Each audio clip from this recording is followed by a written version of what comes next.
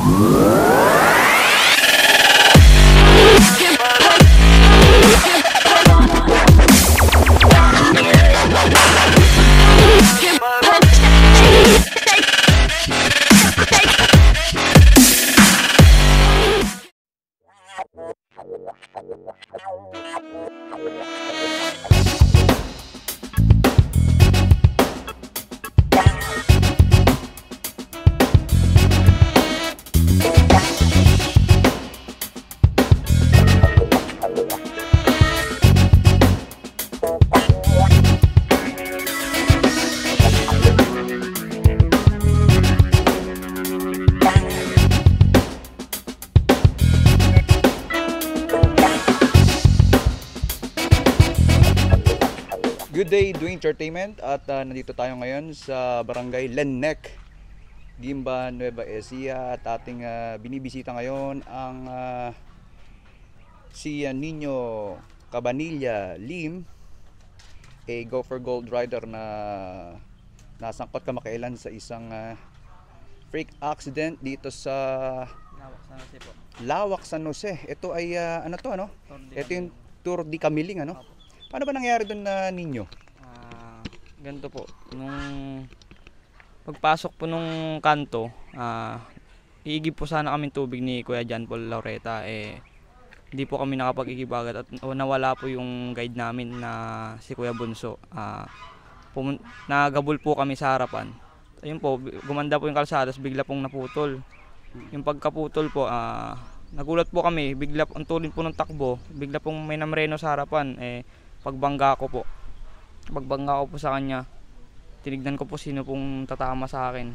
Pagkita ko po, kadami pong dumagan sa akin. Pagbagsak ko po, ah, hindi pa po putol yung, yung, braso ko, wala pa pong putol. May tumama po, may tumama po sa akin na matigas, kaya napapikit na lang po. Pagtingin ko po, ah, nakita ko po nakausli po yung buto, kaya tinulak ko lang po. Para, ano, Ito ba yung sinasabi mong parang from paved road naging rough road? Hindi po, ah unting kalsada lang po. Yung parang unting, yung dati pong kalsada, tapos parang naputol po, ganun po. Naputol siya. Oo po. Tapos paano pa na, na, may nag ano may nag minor. Oo po, may namreno po. Eh, dumaan po yung grupong tulin eh, wala naman pong wan, wala naman pong disgrasya doon. Madulas ba mabuhangin ba? Hindi ko po alam, eh, parang may malalim po kasing kwan na ganun, may malalim po siya. Mm-mm. Tapos bigla pong may namreno. Gulat din po ako, eh, hindi ko na po na, naipreno din po agad. Binangga ko po, pagbangga ko po, pagbagsak ko. Sumalansan po yung madaming siklista at yung mga bike.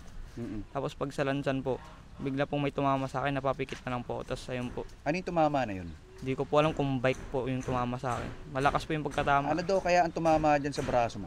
Baka bike siguro. Bike din. Opo, bike po. Palagay mo tumu- tumukod kaya yan? Opo, nung, pag, nung magtukod po siguro.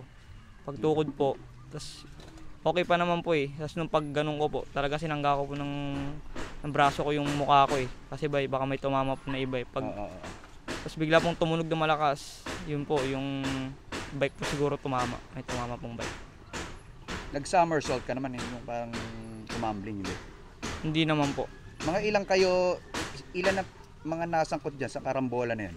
Ah, team Dereyna po, Team Trinix, tapos yung isa kong katim po si Kuya John Paul. Tapos yung mga taga Pangasinan po na rider.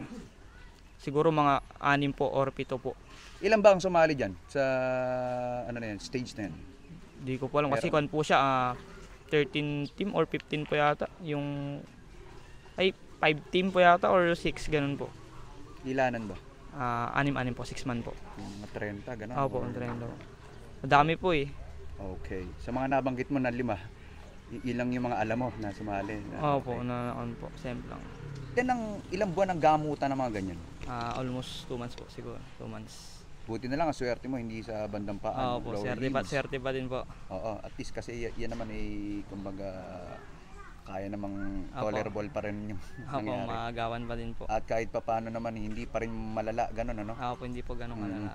Kasi marami tayong mga siklista dumadaan sa ganyan ano. Hindi na naman wala naman perpekto siguro ang siklista. Ako po. Lahat tayo kahit yung mga four wheels ay uh, prone to accident. Ako, kasama po yan sa cycling. Kasama sa laro yan. Ako po, kasama po. Kasama sa pagiging ano yan eh, kumbaga you pass the acid test Ah, of bravery.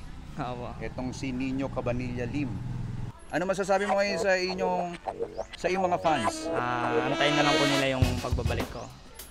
Ako po ay nagpapasalamat sa coach namin, sa sir namin, kay Sir Jeremy Randelgo at kay Coach Ednalyn Calitis Walda po at sa kay Sir Doming Salting po ng Team Kamiling at sa boss ng Excellent Noodles kay Sir Alex Villan. Maraming maraming salamat po sa ating tulong. We run the Pilipinas 2020